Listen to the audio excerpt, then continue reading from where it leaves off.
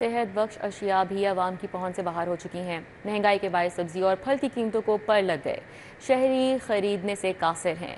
लाहौर को आपको बताएँ कि सेहत बख्श अशिया भी आवाम की पहुँच से बाहर हो चुकी हैं और आलू की अगर बात की जाए, दर्जा अव्वल सरकारी कीमत बयासी और बाज़ार में एक सौ तीस रुपये का फ़रोख्त हो रहा है। इस हवाले से हमारे साथ अफशा रिजवान हैं। उनसे रेट लिस्ट के हवाले से जानेंगे। जी अफशा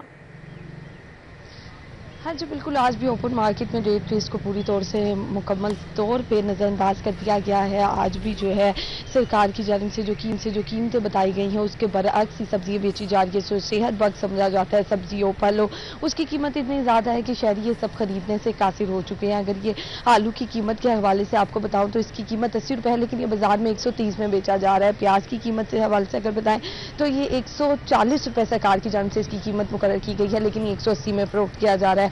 टमाटरों की कीमत के हवाले से अगर बात कर ली जाए तो ये एक सौ रुपए के हैं लेकिन एक सौ पचास रुपए में बेचे जा रहे हैं। दीगर जो सब्ज़ियाँ रह जाती हैं उनकी कीमत भी अपनी आ, की असल कीमत से दस बीस रुपए ज़्यादा ही करके बेची जा रही है। अदरक की बात कर ली जाए तो छः सौ रुपये इसकी कीमत है लेकिन ये छः सौ अस्सी रुपये फ़रोख्त किया जाता है। लहसन की बात कर ली जाए तो ये तीन सौ नब्बे से लेकर तीन सौ अस्सी तक इसकी मुकर कीमत रहती है लेकिन ये चार सौ रुपये तक फ़रोख्त किया जाता है। इसी तरह अगर सब्जियों की बात कर ली जाए तो बेगन की सरकारी कीमत जो है पचास है लेकिन ये अस्सी रुपये में फ़रोख किया जाता है। इसी तरह सब्ज, मिर्चें, जिनके बगैर हर खाना अधूरा होता है, इसकी कीमत 150 है, लेकिन ये दो सौ रुपए में फरोख्त किया जाता है। भिंडियों की सरकारी कीमत साठ रुपए है, लेकिन ये भी सौ रुपए में फ़रोख की जा रही है। मटरों की सरकारी कीमत तीन सौ है, लेकिन ये तीन सौ बीस, तीन सौ तीस रुपए में फ़रोख किए जा रहे हैं। इसी तरह गोभी की सरकारी कीमत एक सौ पचास है, लेकिन ये दो सौ रुपए में फरोख्त किए जा रहे हैं। पालक की सरकारी कीमत साठ रुपए है, लेकिन ये सौ रुपए में फरोख्त किए जा रहे हैं। टींडों की सरकारी कीमत एक सौ साठ है, लेकिन ये भी दो सौ बीस तक फरोख्त किए जा रहे हैं। इसी तरह अगर लीमू की बात कर ली जाए तो दो सौ नब्बे रुपए इसकी कीमत है,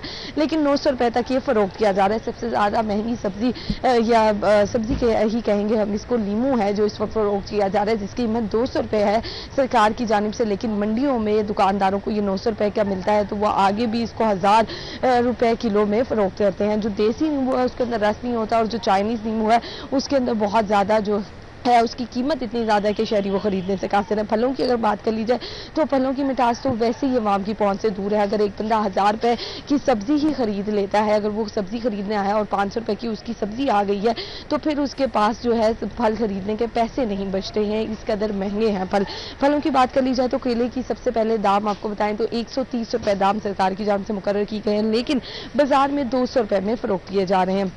सेब की सरकारी कीमत 230 है, लेकिन ये भी 250 में फरोख्त किए जा रहे हैं। अमरूद की सरकारी कीमत 290 है, लेकिन 320 340 तक फरोख्त किया जाता है। अंगूरों की सरकारी कीमत 415 है, लेकिन ये 460 में फरोख्त किए जा रहे हैं। आरूम की सरकारी कीमत 260 है, लेकिन ये भी तीन सौ तक फरोख्त किए जा रहे हैं। आम चौसा लेट की सरकारी कीमत एक सौ पंद्रह है, लेकिन ये भी अपनी कीमत के बरक्स दो सौ रुपये में फरोख्त किए जाते हैं। पपीते की सरकारी कीमत दो सौ पच्चीस है, लेकिन ये दो सौ तीस में फरोख्त किए जा रहे हैं। खुबानी की सरकारी कीमत दो सौ है।